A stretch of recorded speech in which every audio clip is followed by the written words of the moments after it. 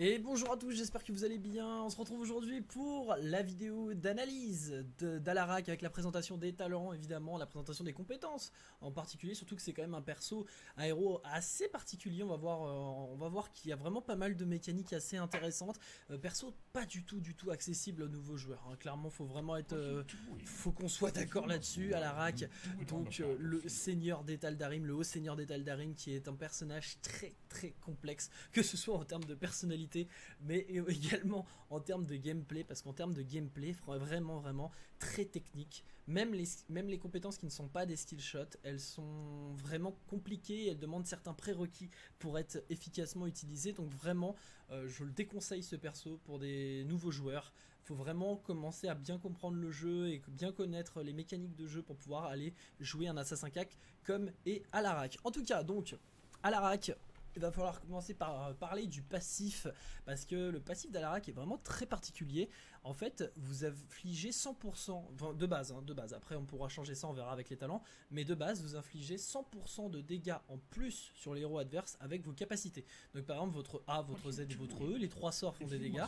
Les trois sorts feront le double de dégâts Enfin, par exemple, si vous voulez dépêcher une lane, euh, je ne sais pas, par exemple, voilà, au niveau 0, la frappe de Discord, donc votre A, inflige 175 points de dégâts. Eh bien, c'est simple, sur un héros adverse, elle infligera le double. 100% de dégâts supplémentaires. Voilà, c'est l'idée. Et du coup, justement, on va pouvoir attaquer euh, directement par la frappe de Discord. Frappe de Discord qui est votre principal outil de dégâts, euh, puisque ce n'est pas votre outil de poke, mais c'est votre principal outil de burst. Euh, Alarak est un assassin CAC qui joue sur du burst. C'est pas un Illidan qui va taper sur la durée, etc. Alarak ressemble un petit peu en termes de mécanique à une Kirigan, même s'il a énormément de, de, points de divergence et de différence avec une Kirigan. Kerrigan a un combo, le Z, le, vous mettez Z et vous, vous attirez la personne sur le Z, et eh bien Alarak lui aussi a également un combo, puisque ça se joue entre la frappe de Discord et la télékinésie. En l'occurrence, en l'occurrence, alors que vous notez que c'est le même doubleur euh, que Legacy of the Void en anglais, en tout cas en français, j'ai remarqué qu'il y avait des petites différences. C'est peut-être le même, mais les techniques ont été euh, changées. Sinon, ce n'est pas le même. Mais en anglais, c'est le même doubleur. Donc, frappe de, frappe de Discord, qui est en fait une euh, zone de dégâts juste en cône, en fait, devant vous. Un, très très court cône. sur le côté, c'est vraiment très très très dur de le placer. donc, c'est vraiment, c'est vraiment un skill shot très compliqué à placer, surtout qu'il a une animation assez longue. Je crois que c'est 0,5 secondes de temps d'animation. Donc ça, pour voilà, pour que ça vous donne une idée, c'est à peu près le temps que l'arc de Oriel touche. Mais sauf que la différence c'est qu'Oriel elle fait des dégâts dès le départ en fait. Euh, mais là en gros la frappe de Discord elle est interrompable, qu'on soit d'accord, elle est interrompable et en plus de ça euh, elle est quand même assez dure de toucher. Donc la frappe de Discord, si vous n'avez pas un stun ou un contrôle au préalable, c'est très compliqué de le placer. Et Alarak, grâce à son kit, a une manière de le placer, c'est la télékinésie. Télékinésie qui est un sort vraiment, vraiment très novateur sur Heroes of the Storm. C'est ça qu'on veut, des héros vraiment nouveaux qui peuvent bouleverser un petit peu le gameplay déjà existant. Télékinésie, et eh bien Alarak peut tout simplement se mouvoir avec, donc il peut se pousser dans une direction ou se se pousser dans une autre direction. Donc ça peut vous servir d'engage comme d'escape. Euh, si jamais vous commencez à être un petit peu sous le feu, hop, vous partez avec. C'est excellent comme talent, mais surtout, surtout cette compétence vous permet euh, d'attirer vos adversaires. Ça ne marche pas sur vos héros alliés, ça ne marche que sur vous et sur vos adversaires. Et pour les adversaires, eh bien, les possibilités sont quasiment infinies. Euh, soit vous, attirez une cible pour pouvoir placer votre frappe de Discord derrière, donc en gros vous ramenez l'adversaire sur vous et bim, vous mettez la frappe de Discord en plein sur sa tronche, sachant que le combo, pour la petite info, puisqu'on va profiter directement pour le mettre, télékinésie attire le mec, sauf qu'il n'y a pas de CC derrière. La télékinésie ralentit pas derrière la personne, donc il faut vraiment être prêt à mettre la frappe de Discord. Donc mettez la télékinésie et vous anticipez déjà où va être la trajectoire de la cible, comme ça vous placez la frappe de Discord, pile au moment où la télékinésie part et pendant le durée de, traversée, eh bien vous commencez déjà à incanter votre frappe de Discord. Donc il faut bien maîtriser les deux sorts pour vraiment anticiper et bien comprendre où va, va atterrir votre cible et à ce moment-là lui laisser aucune chance d'esquive de frappe de Discord. Attention néanmoins, si vous utilisez votre télékinésie offensivement, vu que ça peut être votre seul escape, à la rack manque de mobilité, la télékinésie, si vous l'utilisez offensivement, bah, vous n'aurez plus d'escape. Donc il faut vraiment pas se louper à ce niveau-là. Euh, Donc la télékinésie en plus inflige des dégâts. Et c'est votre sort qui a le plus long temps de recharge. À côté de ça, l'arc électrique qui est votre poke, c'est le, votre sort qui fait le moins de dégâts, mais qui est super intéressant parce qu'il a une portée relativement, relativement correcte. Hein. On verra par la suite dans la petite démonstration. Il y aura une game de démonstration par la suite aussi, mais la petite démonstration de la boutique, vous verrez que la, la portée est vraiment pas dégueulasse, même si on cherchera on verra par la suite à l'améliorer. Mais l'arc électrique, ce qui est très intéressant, c'est que en fait, ce n'est pas un skill shot, c'est ciblé et ça n'a pas de temps d'incantation. Donc c'est vraiment instantané et idéal pour finir quelqu'un. Mais ce qui est vraiment intéressant, c'est qu'en fait, la frappe électrique, ça marque un rayon électrique en fait jusqu'à votre cible.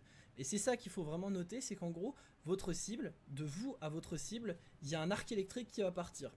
Et ça infligera des dégâts sur tout le chemin de votre, de votre arc électrique.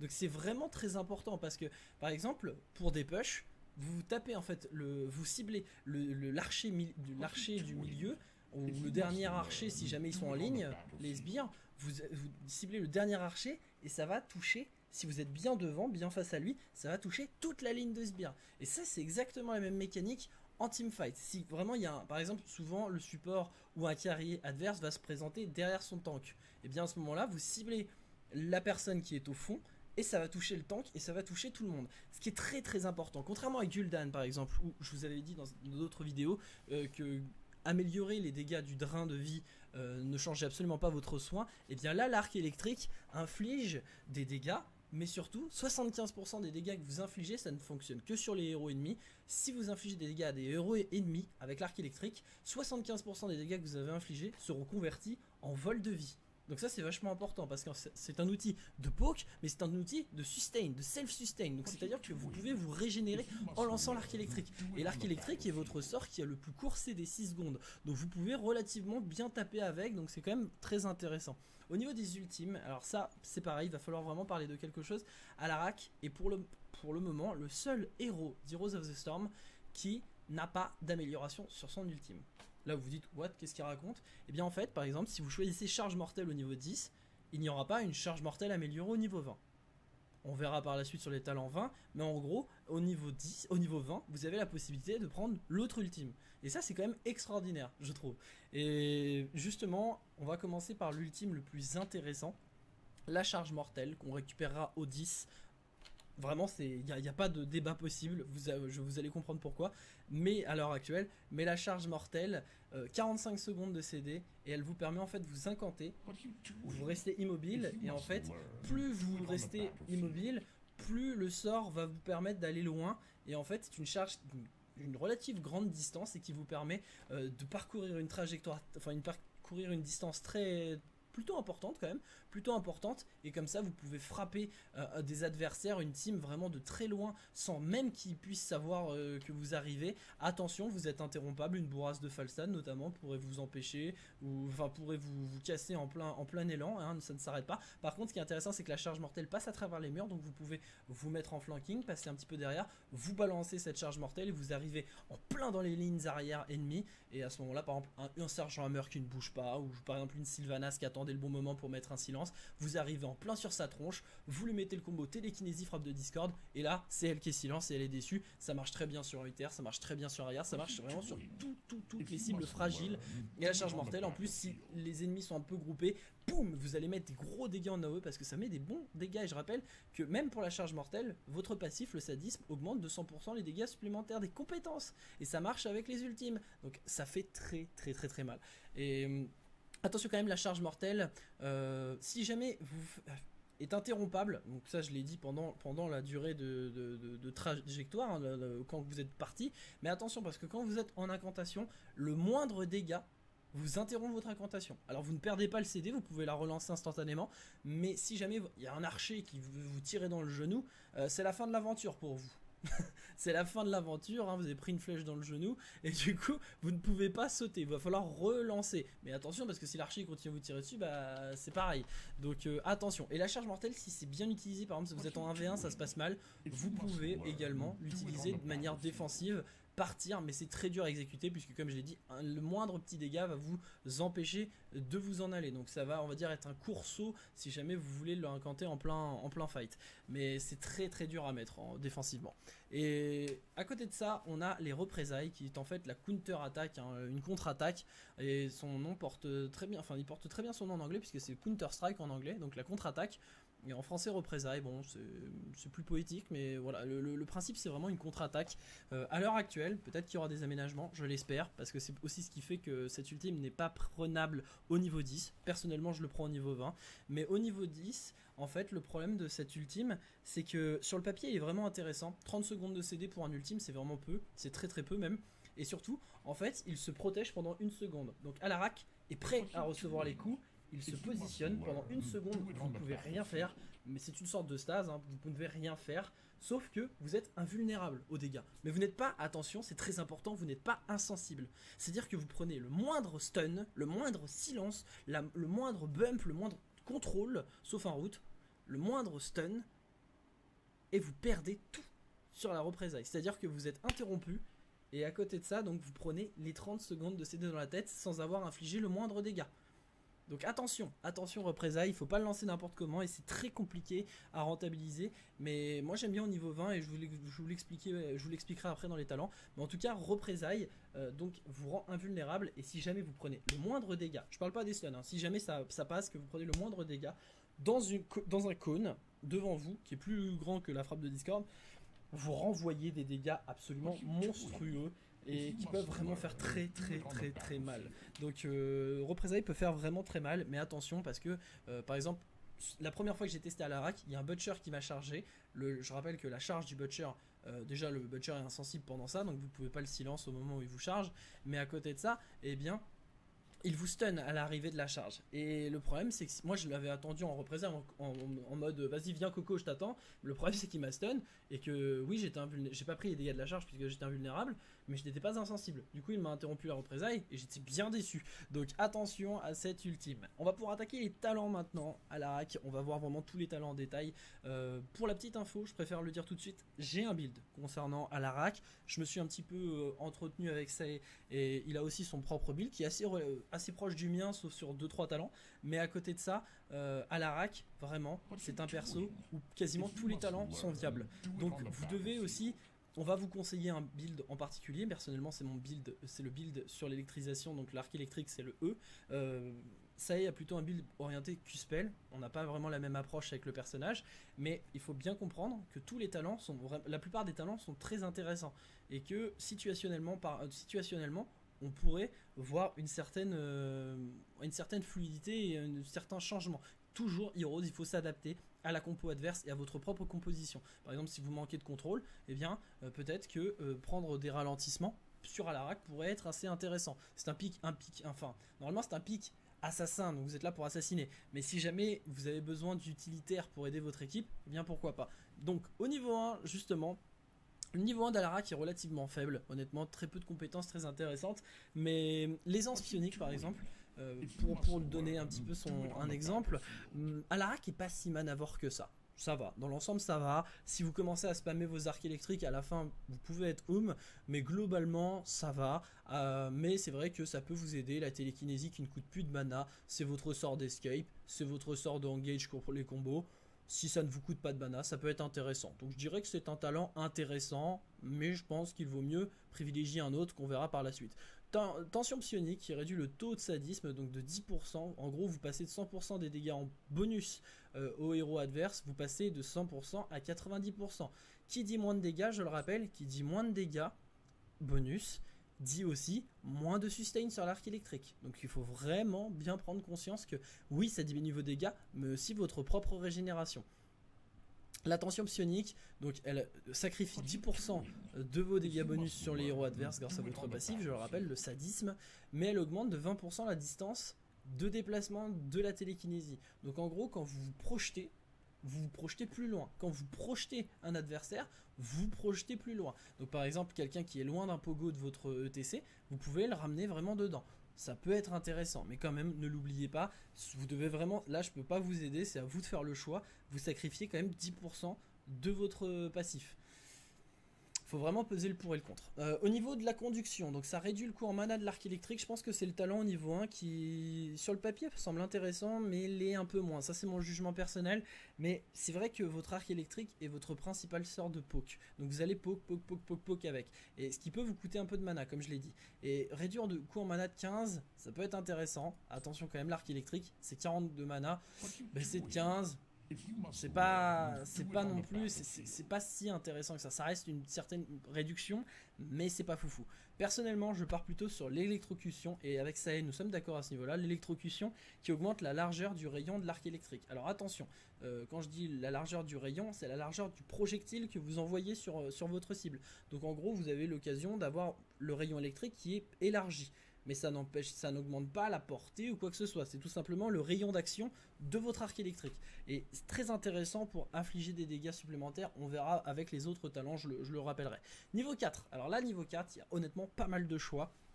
Et c'est là notre premier désaccord avec Sae. Euh, on va commencer avec la frappe, la traîtresse, qui est le choix de Sae d'ailleurs à ce niveau-là, euh, qui en fait augmente la portée donc de votre frappe de Discord, donc de votre Q-spell, donc de votre sort qui fait le plus de dégâts et qui applique un silence, rappelons-le. En fait, ça augmente la portée de 25%, donc ça augmente un petit peu la distance du cône, euh, et aussi ça ajoute une sorte de, de, garde en fait au moment où vous le lancez. Vous verrez, c'est en fait à l'endroit initial où vous le lancez, il y a une garde en fait sur le côté qui commence, ce qui fait que ça peut permettre pour des une lane en fait de toucher les trois sbires mêlés et de toucher la backline également. Ça peut être intéressant, mais euh, c'est surtout pour mieux appliquer votre passif, etc. Ça peut être pas mal du tout. Au niveau de la frappe téméraire, euh, là-dessus, on est totalement d'accord avec ça. Ce talent ne vaut pas le coup. Ça réduit le délai initial de la frappe Discord, donc en gros, ça, de 0,25 secondes. Donc en gros, ça réduit de moitié l'animation de votre Q-spell. Sauf que, en fait, ça vous applique une vulnérabilité. Que vous touchiez ou pas votre adversaire, d'ailleurs, hein, ça applique une vulnérabilité de 25. Donc vous prenez 25% de dégâts supplémentaires pendant 2 secondes. C'est énorme. À, la rack, vous êtes censé. Enfin, vous vous exposez quand vous mettez un combo. Donc déjà, c'est risqué si vous ratez. Mais en plus, si vous appliquez appliquez vous-même une vulnérabilité, enfin c'est nul, c'est juste nul. Et vous êtes fragile. Alarak n'est pas un tank, c'est un assassin cac, vous êtes relativement fragile. Donc si vous prenez cher, enfin déjà que de base vous allez avoir du mal à survivre, si en plus vous appliquez une vulnérabilité, c'est beaucoup quoi, ça va pas du tout. Euh, donc je, déconseille ce talent. Est, avait une, une proposition qui était pas mal, c'était l'idée que par exemple, ça aurait pu, ce talent aurait pu être très intelligent si ça avait été, si vous touchez bah c'est pas grave. Mais si vous ratez, ça vous applique une vulnérabilité. Ça aurait forcé un petit peu le skill, etc. Ça, je trouvais que c'était intéressant, mais finalement, ça n'a pas été le cas. Euh, donc, ce talent ne vaut pas le coup. Les codes Discord qui réduit le temps de recharge. Personnellement, je l'aime bien dans une optique de build Q-spell. Si vous arrivez bien à, placer vos Q-spell, ça réduit le temps de recharge. Euh, après, comme c'est un combo, ça réduit le temps de recharge du Q-spell, mais ça réduit pas le temps de recharge de la télékinésie. Donc, l'un dans l'autre, euh, c'est comme une Kerrigan. Si vous lancez votre Z, mais que vous n'avez pas votre E, plus dur à toucher. Là, c'est un peu le même genre. Donc, faut savoir ce que vous faites. Mais enfin, si vous avez votre Q-spell de près mais pas votre télékinésie, vous allez peut-être avoir du mal à le placer. Je déconseille de balancer un Q-spell si vous avez vraiment vous n'êtes pas sûr de toucher, c'est détruire vos combos. Donc réduire le temps, c'est à la fois bien et pas bien. Donc euh, bon après faut pas l'oublier que si vous ratez en plus ça restitue euh, le, ça réduit le temps de recharge de 3 secondes et ça restitue le cours en mana. Mais bon normalement vous n'êtes pas censé rater votre Q-spell donc euh, j'en parle très peu. Mais ouais. Donc, si vous partez sur un build Q-Spell, ça va jouer entre frappe traîtresse et écho de Discord, même si on préférera la frappe traîtresse pour vraiment ne pas, pour assurer la chance de toucher. Euh, à côté de ça, personnellement, au 4, je pars sur la ionisation qui augmente la portée de l'arc électrique de 20%. Sachant qu'en fait, de base, je le rappelle, la portée euh, de, l'arc électrique est bonne, forcément, euh, on pourrait bah, on n'en a pas forcément besoin. Oui, mais c'est du pourcentage. Donc 20% de quelque chose de gros, c'est encore plus gros. Donc euh, soyez vraiment bien conscient de ça. C'est comme quand je disais Gul'dan, vos dots, bah, des pourcentages, ça aide pas non plus masse vos dégâts. Bah oui, parce que des faibles chiffres, donc des pourcentages de faibles chiffres, ça reste toujours des faibles chiffres. Par contre, c'est comme les soldes. Hein. Plus, plus le prix est gros de base, plus les soldes sont importantes euh, en fonction du taux. Là, c'est pareil. Donc si vous augmentez un gros, une grosse portée de 20%, elle sera encore plus grosse, ça sera vraiment énorme. Et là, là, là, c'est vraiment se mettre très très bien parce que avoir une énorme portée. Plus l'électrocution, on commence déjà à avoir un build où euh, vous pouvez aller taper les backlines de très très loin et toucher énormément de choses sur le chemin. Donc ça commence à être sympa. Euh, niveau 7, niveau 7 c'est là où on va avoir petit peu une, un changement de chemin, puisqu'il y a l'option build Q-Spell ou le build E qui s'articule sous deux formes. Donc le build Q-Spell, ça augmente les dégâts de la frappe de Discord de 45 points. Euh, donc c'est 45 points, enfin c'est un maximum de 45 points, donc c'est 15 stacks. Et une fois que les 15, 15 euh, stacks ont été faites, ça rajoute encore 45 points. Donc 90 points de dégâts supplémentaires. On pourrait dire 90, c'est pas beaucoup. Rappelons quand même qu'il y a le sadisme, hein, le passif. Donc c'est 100% de dégâts en plus sur les héros adverses. Donc 90 x 2, 180 de dégâts supplémentaires. C'est quand même pas mal. Après le Q-Spell de base fait très mal. Donc, soit vous faites encore plus mal sur votre, votre, votre principal outil de burst, mais de base, le Q-Spell fait très mal. Donc, c'est aussi pour ça qu'il y a une divergence avec Sae. Lui considère veut vraiment tout miser sur son Q-Spell. Personnellement, moi, je pars plutôt sur l'énergie perpétuelle, qui en fait à chaque ennemi touché, euh, intercalé entre votre cible et vous, euh, par l'arc électrique, vous réduisez le CD de votre arc électrique, justement. Je rappelle, l'arc électrique, c'est 6 secondes de CD, et là, stacké, euh, c'est 10 stack maximum, donc il faut vraiment toucher 10 personnes qui sont intercalées entre votre cible et vous, donc ça vous demande de bien vous positionner et de cibler quelqu'un derrière, et comme ça, vous touchez le héros qui est au milieu, et eh bien ça vous permet de réduire de 2 secondes votre principal outil de poke, et je le rappelle, outil de poke et de self-sustain, donc de régénération. Je trouve personnellement que c'est énorme parce que le problème d'Alarak c'est surtout en fait de, de, savoir quand engager un fight. Vous devez pas rentrer dans la mêlée tête baissée comme un idiot. Vous devez rentrer dans le fight au bon moment. Le fait donc que vous soyez inactif en attendant le bon moment, par exemple, c'est un peu ce que fait Greymane. Vous tapez, vous tapez, vous envoyez des cocktails et ensuite vous rentrez dans le tas. Là, avec Alarak, vous avez l'occasion de faire ça avec l'énergie perpétuelle, plus l'ionisation, plus l'électrocution. Vous avez l'occasion de poke énormément de monde hop, on, prépare. Vous préparez le dîner en fait, hein. vous préparez le dîner et ça, je trouve que c'est pas mal. Et surtout, voilà, 4 secondes de CD sur votre principal outil de sustain, c'est génial. Et pour finir quelqu'un, c'est génial. Euh, le foudroiement, après, qui peut être très très intéressant, vous sacrifiez 10%, alors très intéressant mais situationnellement, hein. vous sacrifiez 10% euh, de sadisme, donc vous passez de 100% à 90% ou moins si vous avez pris d'autres talents qui sacrifient du sadisme, mais ça réduit de 70% euh, la mobilité des adversaires intercalés donc entre votre cible d'arc électrique et vous-même. Tous, tous les ennemis touchés sont ralentis de 70% pendant quasiment 2 secondes, 1,5 secondes. 70%, on n'est pas loin d'un route. Hein. La personne bouge vraiment plus. Donc si jamais votre équipe manque de CC, ça peut être très très intéressant. Au niveau 10, niveau 10 on l'a dit charge mortelle. Niveau 13, niveau 13 là il y a deux talents vraiment très intéressants.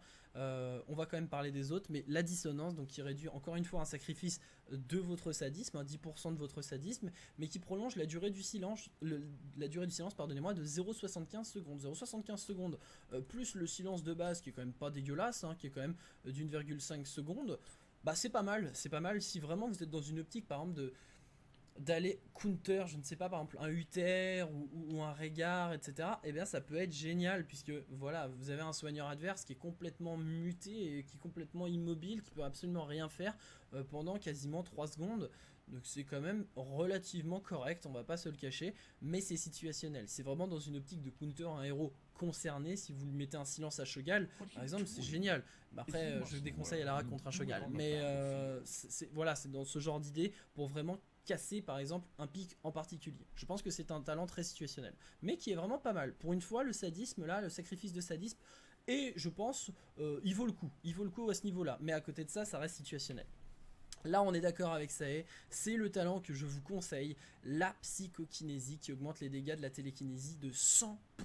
Je rappelle que même si c'est votre outil de combo et que c'est un outil utilitaire, il fait des dégâts ce sort. Il fait des dégâts. 48 au niveau 0, c'est pas énorme, mais c'est doublé avec le sadisme. Donc 100% de dégâts en plus, donc vous faites 48 x 2. Sachant qu'avec ce talent, vous, augmentez encore de 100% les dégâts. Donc ça commence à être vraiment pas mal. Ça commence à être pas mal du tout. Et, ce talent qui est votre principal outil de combo. Donc par exemple, que ce soit en plus sur un build E ou un build Q-Spell, là-dessus on est d'accord. Ça marche encore mieux avec un build Q-Spell, mais même avec le build E c'est génial. En gros, votre combo c'est Z, E, enfin ZA pardon, ZA, et en gros vous balancez le mec sur votre Q-Spell Donc là, votre, burst est vraiment très très solide. Vous augmentez les dégâts de votre burst. Donc c'est quand même pas mal. Et, surtout, il n'a pas de, n'y a pas de sacrifice de pourcentage de sadisme, il n'y a rien du tout. Donc c'est vraiment que du bénéf. Euh, à côté de ça, l'entrafionique, on parlait de sacrifice. Euh, vous sacrifiez 10% de points de sadisme, mais euh, ça ralentit, donc votre télékinésie ralentit de 40% pendant 1,5 secondes. On sent déjà que c'est pas du tout la même intensité de ralentissement. c'est pour ça que si vous avez besoin d'un ralentissement, je préfère vraiment conseiller le foudroiement, en plus qu'il y a un, franchement un sort que vous avez bien plus. Ça, faut vraiment pas oublier que l'arc électrique vous l'avez toutes les 6 secondes, sauf si vous prenez la quête. Donc 6 secondes, un ralentissement 70% pendant 1,5, c'est 1,5 secondes, c'est pas mal. Alors que la télékinésie, c'est un sort qui a 12 secondes, si je dis pas de bêtises, voilà, 12 secondes de CD, qui met un petit ralentissement pendant 1,5 secondes c'est déjà pas pareil, parce que en 12 secondes, vous avez déjà claqué deux foudroiements qui routent quasiment l'adversaire, donc c'est quand même pas mal. Après, c'est sûr, vous allez me dire, l'entrafionique est quand même beaucoup plus simple à appliquer que le foudroiement. Mais si vous, à la vous le maniez bien, normalement le foudroiement, c'est pas un problème. Donc je déconseille quand même l'entrafionique, sauf si vraiment vous avez besoin de, de, contrôle supplémentaire pour aider votre équipe. Et ensuite, un talent que je trouve absolument génialissime et qui permet à la d'être un perso qui, je pense, quand vous avez... Euh, c'est l'un des persos les plus durs à maîtriser, je pense, d'Heroes. Mais quand vous arrivez à le maîtriser, je pense qu'en solo queue, ça pourra faire des ravages parce que la perversion, tout simplement, en fait, à chaque... C'est un outil à stack, comme par exemple Greymane, comme euh, la puissance euh, grandissante de, Nova ou de Zeratul. À chaque fois que vous faites des kills avec ces talents-là, vous gagnez des stacks et donc des dégâts supplémentaires. Là, en l'occurrence, eh bien, c'est pareil, mais de l'autre côté, en inversant. En gros, plus vous avez d'alliés qui meurent, plus vous gagnez de puissance et sur qui s'ajoute au sadisme. C'est pas 40% de dégâts supplémentaires, c'est 40% de, enfin, de 40% de points qui s'ajoutent au sadisme. Donc au lieu de passer de 100% de dégâts supplémentaires sur les compétences, vous avez 140% de dégâts euh, au maximum supplémentaires sur les compétences. Je rappelle que du coup, 100%, 140% de dégâts supplémentaires, c'est également 140% de régène supplémentaire grâce à l'arc électrique. Même si ça convertit que 75% des dégâts que vous mettez, ça reste toujours une augmentation de votre propre sustain aussi. Donc pour Carry, si vous ne mourrez pas, je, je rappelle vraiment bien, je, vraiment, je mets vraiment, regardez mes deux mains, si vous ne mourrez pas, parce que ce talent, vous perdez toutes les stacks que vous avez mis si vous mourrez, mais si vous ne mourrez pas, ce talent, et que vous avez des alliés qui meurent souvent, ce talent peut être très intéressant. Je pense même que même si vous mourrez, si vous avez un Murky ou des Vikings avec vous, ça peut être pas mal. Il n'y a pas de limite de portée, hein, un Murky qui meurt à l'opposé de la carte, ça s'applique. Donc vous avez la perversion. Et c'est vraiment pas mal puisque je l'ai dit, ça augmente les dégâts, ça augmente la sustain. Mais attention, vous perdez toutes les stacks si vous mourrez. Du coup, c'est un talent qui ne sert à rien. On est sur du talent 13, ça commence à être des talents qui normalement sont significatifs et doivent être impactants.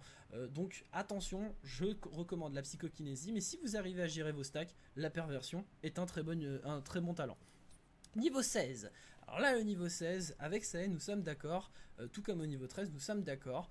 Euh, on verra lequel, je, mets, je spoil, voilà, charge négative, mais on va pouvoir attaquer un petit peu les autres talents. Sagacité, on réduit de 10% le sadisme, donc votre passif, les dégâts supplémentaires sur les, sur les héros adverses, euh, mais ça réduit le temps de recharge de la technisie de 6 secondes. C'est quand même 50%, 50% euh, de gains sur votre CD, donc votre cooldown reduction sur vos sorts. Donc ça veut dire que votre télékinésie est réduite de moitié au niveau de son temps de recharge. C'est quand même pas mal du tout, sachant que c'est votre engage pour le combo, c'est aussi votre escape. Je pense, honnêtement, je pense que si vous partez dans une logique plutôt utilitaire mais de dégâts, euh, peut-être partir par exemple sur l'écho de Discord qui réduit de, 2 secondes le CD, ce qui fait que vous passez euh, de 8 secondes à 6 secondes, mais du coup, eh bien, avec euh, la sagacité, vous réduisez aussi de 6 secondes la télékinésie, ce qui fait que votre Q-spell et votre télékinésie sont complètement synchronisés en termes de cooldown. Donc vos combos, votre combo, vous l'avez tout le temps. C'est-à-dire, toutes les 6 secondes, vous avez un combo. Ça peut être intéressant, mais ça sacrifie quand même, attention, ça sacrifie quand même 10%. Heureusement, la code Discord ne sacrifie rien. Mais au niveau 16, la sagacité, elle, sacrifie quand même 10% euh, de dégâts supplémentaires et donc de régène aussi supplémentaire. Attention à ça. Mais honnêtement, je pense que ça pourrait être très intéressant. Euh, vraiment pour appliquer plus souvent vos combos. À côté de ça, le championique qui réduit une nouvelle fois le bonus aux dégâts conférés par le sadisme de 10%, mais ça augmente la portée de la télékinésie de 25%. Donc vous pouvez lancer votre télékinésie de plus loin. Attention, ça n'augmente pas la distance sur laquelle la cible est poussée, ou vous même être poussé. Parce que euh, ça, je le rappelle, c'est la tension psionique au niveau 1. Et justement, vous me voyez venir avec mes gros sabots. Tension psionique plus le championnique, ça peut être idéal pour punir une Morales, pour punir une Jaina. Vous pouvez la lancer de bien plus loin et projeter la cible de bien plus loin. Donc ça peut être punitif, même si c'est très situationnel, je pense. Ça peut punir une cible en particulier. À ce moment-là, ça peut être intéressant. Contre une Morales, honnêtement, je pense que ça peut être vraiment intéressant. Vous n'avez pas de trall pour flanquer ou quoi que ce soit. Eh bien, attirez la Morales à votre équipe pour pouvoir la manger euh, tout cru. Ça peut être pas mal. Après, il y a l'électrostimulation. Si vous, par exemple, je sais pas, vous, êtes en Hero League, vous maîtrisez bien Alarak, mais euh, eh bien, vous, n'avez pas de support parce que le dernier est parti sur un Xul ou quoi que ce soit et vous n'avez pas de support. Vous avez besoin de régénération absolument, ou alors votre support ne vous soigne jamais et vous avez absolument besoin de régène parce que c'est comme ça que vous allez pouvoir survivre au fight et carry. Eh bien, l'électrostimulation est intéressante puisqu'elle augmente de 30% les soins reçus en infligeant des dégâts aux héros avec l'arc électrique. Rappelez-vous, c'est 75% des dégâts infligés par l'arc électrique qui vous sont rendus en PV. Là, vous augmentez de 30%, ce qui veut dire que vous passez de, 30, de 75 à 105% de soins. Donc en gros, vous, vous soignez plus que vous ne faites de dégâts. À 100%, en fait, tous les dégâts que vous mettez vous sont convertis. À 105, c'est tous les dégâts qui sont mis, vous, soignez même plus que les dégâts que vous infligez. Donc ça peut être génial, sachant que je rappelle, ça se cumule. Vous touchez 3 héros, bah c'est 3 dégâts sur les. c'est 3. Euh, enfin, c'est le même sort, mais qui a touché 3 héros adverses, donc 3 dégâts, donc 3 soins. Donc ça peut être vraiment très intéressant si vous avez besoin de régénération. Je pense aussi que c'est situationnel comme talent. Et par contre, celui qui est extraordinaire comme talent, c'est la charge négative qui augmente de 100% les dégâts infligés aux ennemis frappés par le centre de l'arc. Même principe euh, que la, psychokinésie au niveau 13. Donc en gros, si vous touchez avec des cibles qui sont intercalées entre votre cible et vous euh, avec l'arc électrique, eh bien vous infligez 100% de dégâts supplémentaires à tout le monde. Donc ça marche aussi aux sbires, ça marche au bâtiment, ça marche aux héros, ça marche au boss, ça marche à tout. Il faut juste que ce soit une cible qui était sur le chemin euh, de votre cible. Enfin, pour quelqu'un qui soit sur le chemin de votre cible. Donc ça, ça peut être vraiment pas mal. Attention par contre, alors ne, vous fiez pas à la traduction française, c'est complètement une erreur. Euh, c'est 100% des dégâts, il n'y a pas de souci à ce niveau-là. Mais la fin, c'est ne rend plus de points de vie. Donc là, on pourrait se dire, mais attention, c'est-à-dire que l'arc électrique ne rend plus aucun point de vie. Non, non, c'est pas ça. C'est qu'en fait, les 100% de dégâts bonus qui sont ajoutés avec ce talent-là euh, ne vous permettent pas d'augmenter les soins reçus. En gros, vous avez toujours les soins initiaux, additionnés aux 100% de dégâts supplémentaires de votre sadisme, mais ces 100% de la charge négative, eux, n'augmente pas votre heal. C'est ça. C'est juste pour pas que ce soit complètement fumé. Donc ce talent est déjà très intéressant, mais c'est vraiment que dans une optique de faire plus de dégâts. C'est pas du tout dans une optique de plus vos régènes, malheureusement, et sinon ça aurait été quand même OP, soyons d'accord. Au niveau 20 maintenant, très intéressant le niveau 20 puisque je l'ai dit, on part charge mortelle. Otis, donc en gros vous avez que 3 euh, talents possibles, c'est les représailles, donc l'autre ultime, ou dernier recours et conversion. Personnellement, je pars sur les représailles au vin. Je vais vous dire pourquoi, et ce sera dans le guide écrit de façon qui est, dans la description. Euh, mais euh, les représailles, donc la contre-attaque, en fait, quand vous avez lancé, vous avez engage, vous avez commencé à votre phase de poke avec votre E, etc. Et quand vous lancez enfin le fight avec la charge mortelle et que vous rentrez dans le tas, eh bien la charge mortelle va vous permettre d'engage, vous avez votre A, votre Z, etc. Il n'y a pas de souci. Mais à un moment donné, en fait, vous êtes en plein milieu de la mêlée, vous êtes en plein milieu du fight. Et là, les ennemis vont pas laisser un assassin cac en liberté autour de vous. Hein. Ça, c'est dans Jurassic Park, sinon ça n'existe pas. Donc, ils vont vouloir se retourner contre vous et vous taper. À ce moment-là, les représailles peuvent être pas mal parce que, en fait, elles vous accordent une seconde d'invulnérabilité complète. Pas d'insensibilité, attention, je le rappelle.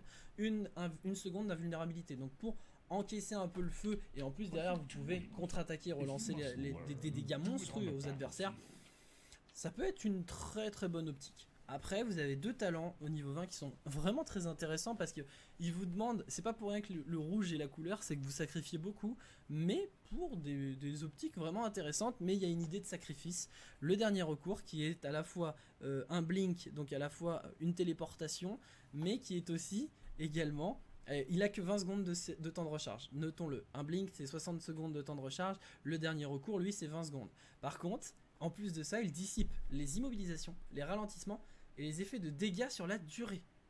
Donc la corruption de Gul'dan, vous ne prenez plus le dot. Une Lunara qui, va, qui, vous met euh, son poison, vous ne prenez plus de dot. C'est très important ça. Et surtout, ça dissipe un route, un ralentissement. Donc c'est vachement bien. Par contre, ça ne dissipe pas les stuns. Attention, ça ne dissipe pas le hard CC. C'est vraiment que les immobilisations et les ralentissements. Et par contre, en plus de ça, ça vous téléporte. Mais à côté de ça, donc vous avez tous ces effets positifs, j'ai envie de dire, mais par contre, vos PV passent à un seul petit point de PV. Donc c'est vraiment quelque chose pour s'escape et, de quasiment ne plus être disponible en combat. Donc faut vraiment, vraiment, vraiment apprécier et se dire, ok, euh, je prends ça, mais je sais que derrière ça va être très compliqué de m'en sortir.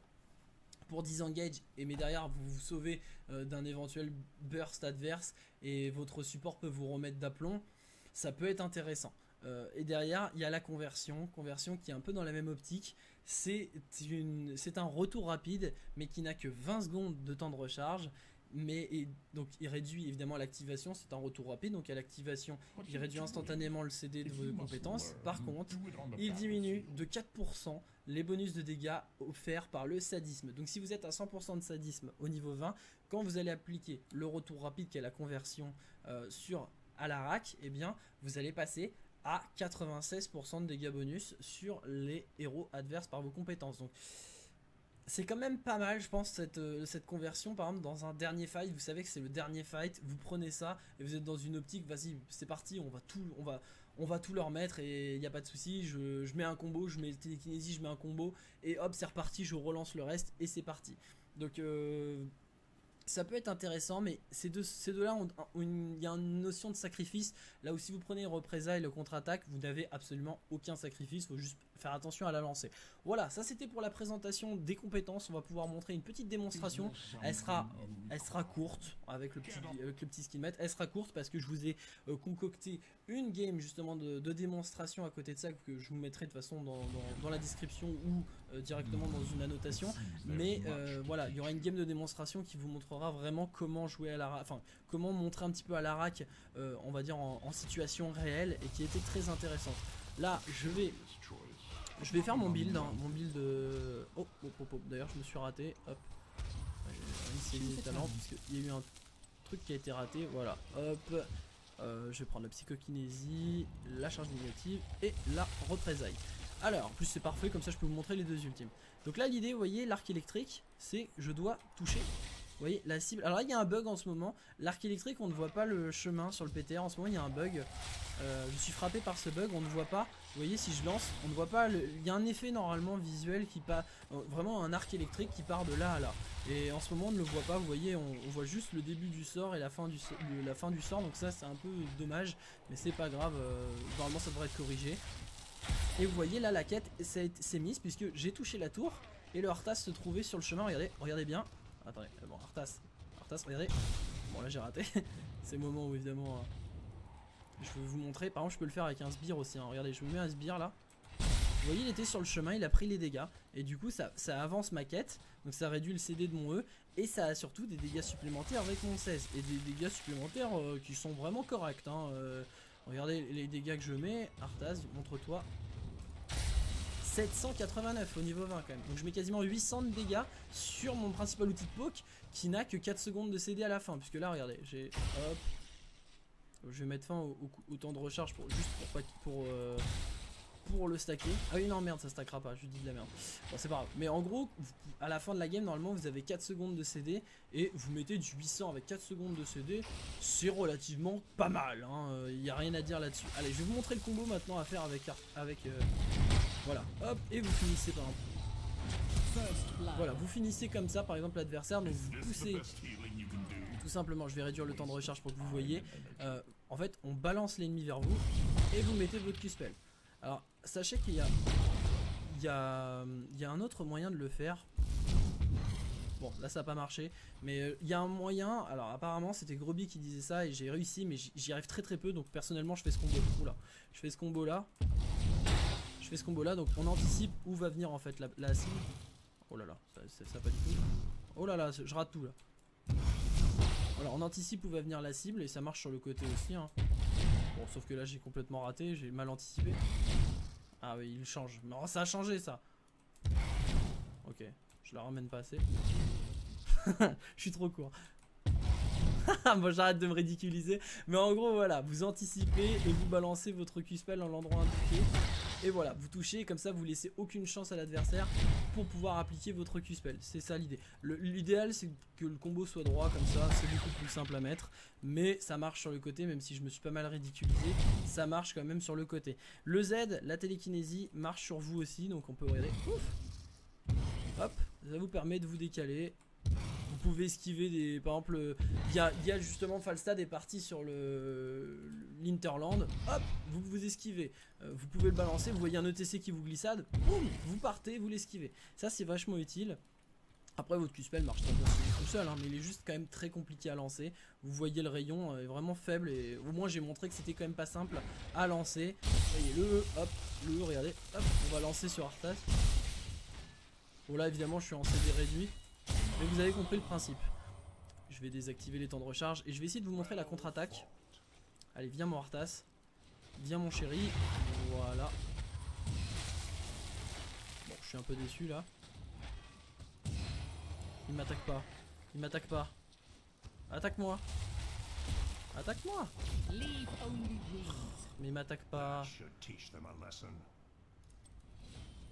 Voilà, on va tuer... Euh, on va tuer le Malfurion. Bon après je vais vous montrer l'autre ultime à la limite. La charge mortelle, vous voyez, plus vous canalisez, plus vous allez loin et ça passe à travers les murs. Voilà, viens m'attaquer. Vous voyez, hop boum, la petite contre-attaque. Vous êtes invulnérable et bim, il m'attaque. Il m'attaque. Je mets quand même du 1200 au niveau 21. Je mets quand même du 1200 de dégâts en repousse c'est quand même pas mal du tout. Et vous voyez, on peut escape aussi. Si je prends un seul dégât par contre, regardez. Si je prends un seul dégât, vous voyez, ça m'interrompt. Donc faut pas se rater. Voilà, boum, 1200 sur Arthas et un peu moins de dégâts évidemment au sbire. Et voilà, vous pouvez canaliser et partir. Sachant que si je l'annule, je peux le relancer quand même. Et ça, c'est vachement bon. Alors, je vais le désactiver pour que vous voyez que je peux le faire quand même. Là, par exemple, j'ai envie d'engager Arthas. Je vois que c'est trop loin. Mince. Je me rapproche. Ok, bon bah il s'avance. Et là, on peut lancer la frappe voilà, on peut, on peut lancer un petit peu une attaque comme ça. Donc euh, voilà, j'espère que ça vous a montré des, vous a montré un petit peu comment. Euh, j'espère que, enfin en tout cas, ça vous a donné un petit visuel sur Alarak, voir parce que c'est vrai que des fois je balance un petit peu les infos par rapport aux compétences, etc. Ça peut être peut-être un petit peu complexe, surtout pour un perso comme ça. Là, vous avez la démonstration, on va dire rapide.